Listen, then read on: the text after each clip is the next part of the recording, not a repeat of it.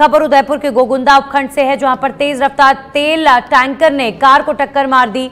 इस सड़क हादसे में सायरा पंचायत समिति उप प्रधान भारत सिंह बारहट की मौत हो गई है। हाईवे पर अफरा तफरी मच गई और ग्रामीणों की भीड़ जमा हो गई।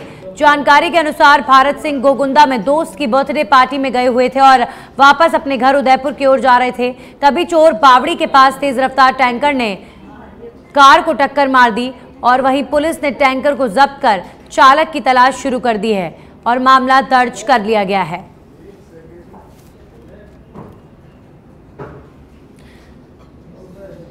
तो उदयपुर का ये मामला, जहाँ पर दोस्त की बर्थडे पार्टी में गए एक व्यक्ति की कार को टक्कर मार दी गई।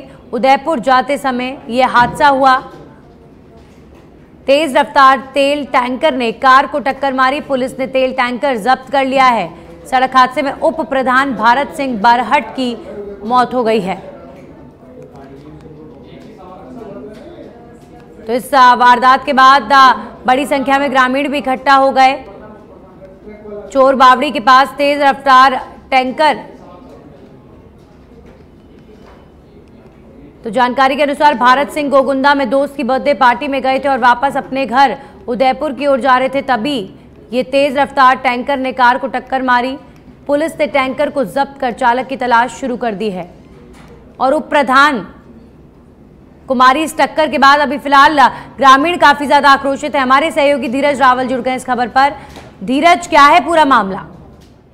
बिल्कुल ये देर रात की जो है वो पूरा घटनाक्रम है ये उदयपुर और गोगुंदा जो हाईवे, वहाँ पर यह हादसा हुआ, जहाँ पर जो उप प्रधान है, भारत सिंह वो यहाँ से गुजर रहे थे।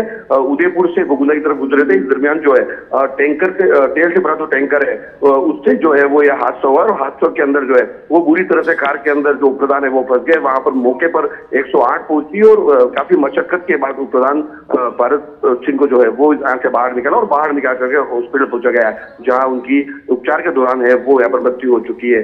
पुलिस ने टैंकर को यहाँ पे जो है वो कब्जे में लेते हुए कब्जे में ले लिया है। वही जो आरोपी है, उसकी यहाँ पे गिरफ्तारी जो है, उसके तलाश जो है वो यहाँ पर शुरू कर दी गई है। उप प्रधान की मौत के बाद जो है पूरे गोगुंदा और शायरा क्षेत्र के अंदर एक शोक की लहर है। वो यहाँ पर छा गई है। ग्रामीणों में जो है वो काफ़ी यहाँ पर गुस्सा जो है वो यहाँ पर देखा जा रहा है। तो पुलिस भी जो है वो प्रयास करेगी जल्द से जल्द जो ट्रक चालक है, उसको यहाँ पे गिरफ्तारी के जो है वो यहाँ पर प्रयास किया जा रहा है। जी बिल्कुल, शुक्रिया आपका धीरज। तमाम जानकारियों के लिए तो